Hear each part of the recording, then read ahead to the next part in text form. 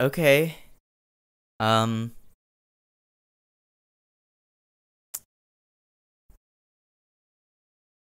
Wow. Immaculate was directed by Michael Mohan and written a very long time ago by Andrew Lobel, I believe I got his name right, and it stars Sydney Sweeney in the lead role. And it tells the story of Cecilia, a woman who, in summary, kind of turns her life around a little bit, or at least believes she is turning her life around by joining a, uh, a nun play you're gonna have to forgive me for my lack of knowledge on um, Catholicism. Essentially, she joins this convent and she becomes a nun, and she is a very devout woman, and because of that, it blinds her to a lot of fucked up shit that's happening behind closed doors at this convent, and I think that that is all I'm gonna say in regards to a synopsis of this film. Now let's talk about Sydney Sweeney for a second, because I have some thoughts. In Euphoria, I think she is one of the best parts of Euphoria, and I've never talked about Euphoria at length on this channel before, but surprise, surprise, I love Euphoria. Are you really surprised that I, Xavier Reichbaum, like Euphoria? Come on. But unfortunately,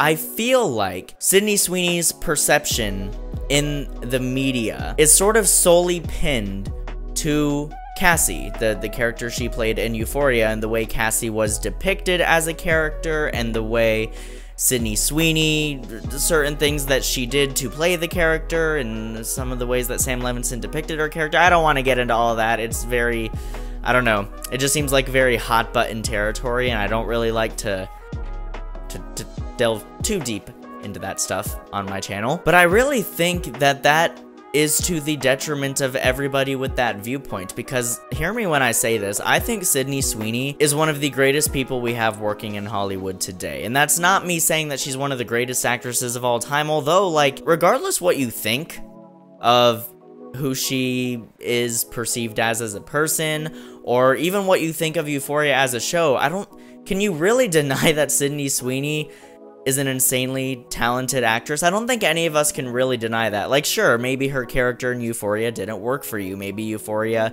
as a whole just doesn't work for you. But don't don't throw the shade on Sydney Sweeney. I think she is an incredibly talented actress. And also, recently, I've been watching a lot of lengthy interviews with her, in much within the lead up to this film that we're talking about in this video, Immaculate, and I've come to just really respect her as an artist. I mean, she's really passionate about it. She's interested in writing, directing. She has a producer credit on this movie. She actually auditioned for this movie like years ago when she was much younger. I think back when it was initially written, and she didn't get the part, and it was sort of scrapped a little bit, like the movie never happened. But apparently, it just stayed in her head for years and years and years, and now all these years later, she finally finally was able to secure funding to get it made. And I think that says a lot about an actor. You know, no shade to actors who are just okay taking a role in something and doing their job and getting their paycheck because they love to act and it's what they love to do. I'm sort of a jack of all trades when it comes to artistic expression. I kind of do it all, which also means that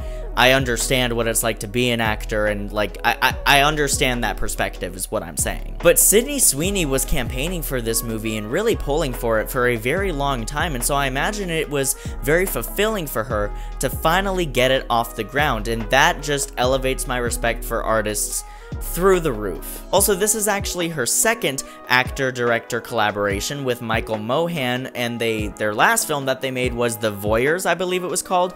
No idea what that is, I don't even know the genre, I've never seen any posters, don't even know the logline or synopsis or anything at all. Maybe I should watch it after seeing this, because they work very well together as an actor-director duo. A lot of that was also boosting my expectations for this movie, and also, I just love it when a new horror movie comes out that people are actually saying is good. I am a massive horror fan and I am a fierce and I mean fierce defender of the horror genre. I personally think that the horror genre has some of the best filmmaking in all categories. You can list them all off. I think the horror genre has some of the best filmmaking whatever aspect of filmmaking it may be in the history of cinema, and I don't think it gets enough credit for that as a genre. But I cannot ignore that there are a shit ton of horror movies out there, many times very successful ones unfortunately, that are just terrible and has given horror in the eyes of the mainstream this sort of stamp of schlockiness and just very trashy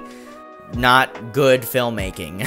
so whenever a new horror film comes out that it seems like critics and audiences for the most part are saying is actually good and different from all of those other films that I was just describing, that gets me really excited. But I would be lying if I said that the thing that didn't get me the most excited about this movie, and I'm sorry if this offends anybody, but it's the way Christians reacted to it, and Catholic, just hyper-religious people in general. Full disclosure, I am not religious at all. I was raised religious, particularly through my high school years. There were, you know, I, don't want to get into all that, that that's a whole other video. Me personally, I'm not religious. I don't necessarily believe in a higher power. I guess I would identify as agnostic if I had to slap a label on it. So do bear that in mind when I say that seeing how many hyper-religious people were getting so offended by this movie, it, you know, there's that sort of, um, problematic side of me that got very excited by that. I'm sorry. Catholicism has certainly been the biggest target, we'll say, when it comes to horror films about religion. Catholicism has certainly gotten the worst end of the stick in that regard. But check your stance on all of that at the door when you're going into this movie because I was very, very pleasantly surprised to see that even as good as I heard people were saying it was, you know, like people were saying that about several other movies, several other horror movies that I saw that I got excited for, and I went in and I was like, yeah, I mean, you know, like, like I understand to mainstream audiences who haven't seen like certain other horror films, those films probably seem better than a lot of the trashy horror films that unfortunately are very popular.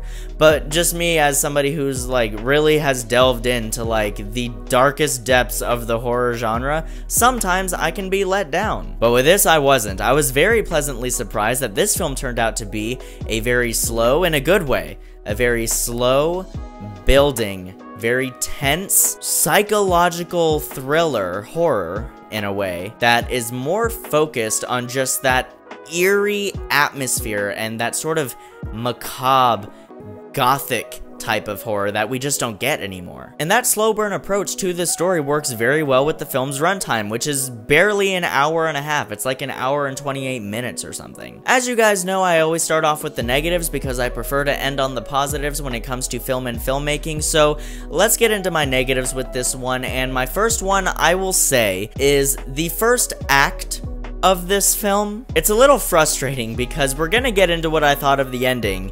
Mild spoilers here, I kind of fucking loved it. And in retrospect, maybe on a rewatch, because I know what's coming, I might enjoy the first act of this movie a bit more. And I don't want to say it's bad. I am not going to say that it's bad. In fact, even the first act of this movie, as cliche and stereotypical as it is, is still better than a lot of the shit that Blumhouse has been putting out. What saves the third act for me is the brilliant cinematography, camera work, production design, the music. I mean, on a technical level, I have very, very little flaws with this movie. My biggest flaw with that first act unfortunately is how cliche it is. There are a bunch of false jump scares. Some jump scares that maybe some people might argue aren't necessarily false jump scares, but I believe the thing that should be initiating the jump scare should be something that is actually a threat or is something that is hinting at an impending threat. And that should have a logical payoff later in the film. There's one jump scare I'm thinking of right now with a bird in the movie that if we're talking about tropes in Catholic horror films, definitely like like fits the tropes and like I, I understand just based on the context of other Catholic horror movies and some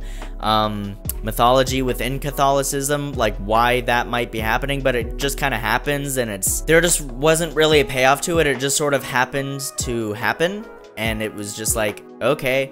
I, I mean, I guess, you know, if you've seen a, a billion Catholic horror movies, that might make sense to you. But even within like the world of this film and even with that knowledge, it, it, just felt a little out of place to me. But that's definitely nitpicky. And as I said, there are a bunch of other false jump scares within the first act of this movie where I was just kind of like, come on, this movie's above this. For the most part, this script and the talent involved within this production in general, you guys are above this, come on. As somebody who has written a lot of horror though, I will say that it is very tempting to sort of give into those tropes because as valid as they are to criticize, there is a side of it that is kind of fun where like when you're actually creating a horror product, there's a fun side to it and you, and you just kind of want to lean into it. There, there's this like pulling temptation to just like have those false jump scares in there just to keep the audience on their toes. That being said, it did bog down the first act of this movie a lot for me. However, I will say, the second and third acts of this movie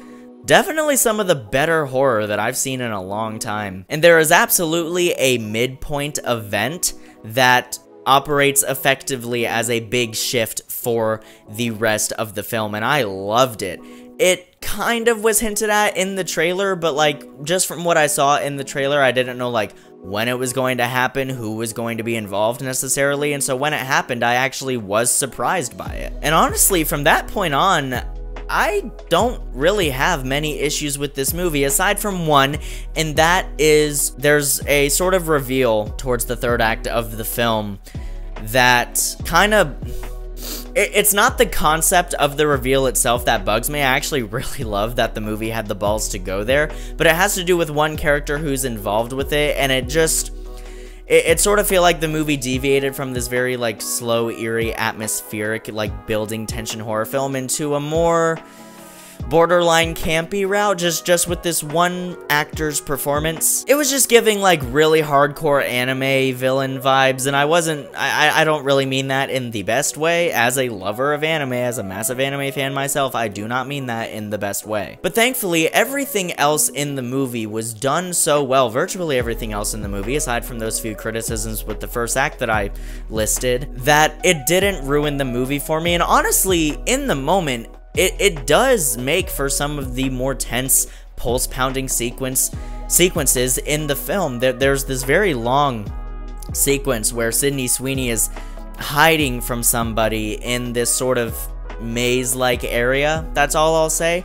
And it went on for a long time, and I was, you know, worried, like, this is kind of going on a while. I feel like it's going to lose steam, but it, it never did. They, they have very clever ways in which they play around with the lighting in the scene to really build that tension. And what I will say is the movie kind of makes up for all the false jump scares in the first act with how it treats things like that in the second act, where it's constantly directed in a way to get you to be like, okay, yeah, there's about to be a jump scare. Here it comes, three, two, one, and then it doesn't happen and then the scene ends and there wasn't a jump scare. It just leaves you with this eerie, cold feeling. I love horror filmmaking like that. People like Ari Aster excel at that, and apparently Michael Mohan as well. Now let's talk about that reveal for a second, because this is the thing that that hyper-religious crowd that I was talking about was getting like super offended by, and you know what, I'm going to say understandably so. It's easy for me as an agnostic person who has various gripes with my religious upbringing to sit here and just sort of laugh at those people, but I also have to see the nuance in the situation. I'm somebody who preaches about nuance all the fucking time. I might as well be self-aware and hold myself accountable and just like see the nuance in this situation too. I'm sure if I had devoted my life to a faith and I was very devout in a faith it like in the faith that this film is portraying sure yeah like if i truly believed in everything that i was being taught uh, yeah I, I i understand why it might offend some people but i also need those people to understand that i'm not coming at it from that perspective. And so really i found that it just really contributed to the super dark macabre sort of turn that this movie takes at that midpoint, which I talked about. And I won't lie, it made me super uncomfortable. It grossed me out. It was absolutely abhorrent. But that's what I want out of a horror film like this, out of a fictional horror film in a slew of horror films that have had plots similar to this. I actually found it very refreshing to have a film that didn't feel safe in that way. Like, it went there. And various artists worked very, very hard to get this film off the ground and to get it made. And so I just love that. I love that the movie had the guts to go there, as I've already said. And as I also already said, it, it contributed to the more macabre side of the movie. I feel like I've used that word a lot, but I also don't use it enough in general when it comes to my videos and talking about horror films. I really do have a soft spot for macabre gothic horror. Shit like Edgar Allan Poe is probably the most cliched pick. Uh, the Fall of the House of Usher is one of my favorite stories of all time. The Telltale Heart, I love that shit. It's creepy, it's eerie, it's disturbing, it's slow building tension. Love it. And so for those reasons, the third act's reveal in this movie did work for me. And honestly, I didn't see the the twist itself, if you want to call it a twist. I didn't see that coming. As much as I love the ending, and, and it's this very long, unbroken shot where Sydney Sweeney is really bringing it in this role. I feel like I haven't talked about her much in this video, so let, let's do that now, actually, before I hit home my point on the ending, because I kind of want to end on that. Sydney Sweeney is absolutely astounding in this movie. Dare I say that she's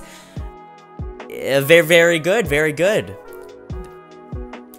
She really did kind of blow me away in this movie, and I love that she has started to sort of expand out of this euphoria zeitgeist that she's been in for the longest time. I like that she's taking roles where she gets to play different characters, like in Anyone But You. She's playing a grown-ass woman who has her own skeletons in the closet and shit like that. And then in this movie, I don't think I really need to explain why this character is insanely different from Cassie. And honestly, as much as I love Sydney Sweeney, part of me was kind of worried for that, because I saw the trailer and it was just like, I don't know, she, she just doesn't seem to fit into this world in this environment. And then I watched the movie, and it kind of plays into that for a lot of that first act that I talked about. And I think that that's kind of the point. And obviously, yes, Sydney Sweeney auditioned for this many years ago, and she was campaigning for this movie, and obviously she is more than likely the reason that she got the lead role in this movie because it meant so much to her. But I don't know, like, I, I think it speaks to the really good director actor relationship between her and Michael Mohan because Michael Mohan was very clearly, I guess, taking advantage of the fact that a lot of people were going to be thinking that going into this movie, that Sydney Sweeney wasn't going to fit into this aesthetic. And at a certain point in the film, it really started to work for me. I believed her performance. I believed her character. I it truly felt like she was living in the role. So props to her for that. I think she's incredible in this movie. Now let's talk about that ending and sort of transitioning still talking about Sydney Sweeney's performance. Yes, the ending of the film, everybody's talked about it. It's been on some of the promotional promotional artwork as well. That shot of Sydney Sweeney's face. Not going to talk about what she's looking at, why she's covered in blood, what exactly is happening, but Damn. That that was some shit. I know you guys are tired about me talking about Sydney Sweeney's performance, but and I'm sure you're tired of hearing everybody talk about this scene in particular, but I, I don't want to stop talking about it. It's really good. When something is good, let's celebrate it. Let's not stop talking about it because it'll show Hollywood that a lot of us want more shit like that. Things that feel very raw and in the moment and not in a manipulative way like a lot of other things do. And as much as I love Euphoria, how certain scenes in Euphoria also kind of come across. It's really impressive from a filmmaking standpoint and Sydney Sweeney, as I said, she really, really brings it in that scene. I'll shut up about her now. It's a great ending. And honestly, I feel like it's the thing that offended. Yes, I'm going to talk about this again. I'm sorry. I feel like it's the thing that offended the hyper religious crowd that was hating on this movie the most. I think it offended them way more than the actual reveal. Honestly, the whole third act of this movie is problematic for them, I would assume. And as I said, understandably so. But I gotta be honest, as much as I loved the ending, I really loved, as I said, that the movie went there. I, I'm all about artists taking risks and not being afraid to explore certain subjects and themes and physical events.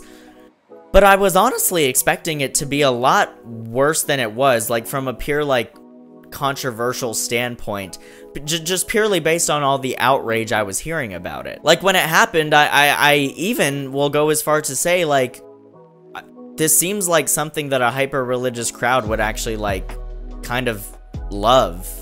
and just disclaimer, if you are a Catholic person watching this video or you're part of another faith and this movie kind of offended you in that way, I apologize. I, I know that that probably sounds a little like weird to you. It's hard to fully flesh out that point without spoiling the movie, so I'm not gonna spoil the movie, but like, I'm gonna try. the thing that Sydney Sweeney does at the, the Cecilia is her character's name. The thing that Cecilia does at the end of this movie. I. this is so hard. Cecilia does something at the end of this movie. It involves her doing some. It, it involves her performing an act upon another thing that is present within the film. People who have seen the movie, just think of the nature of the thing that she was doing this to, and think about like what the movie was implying was going on there.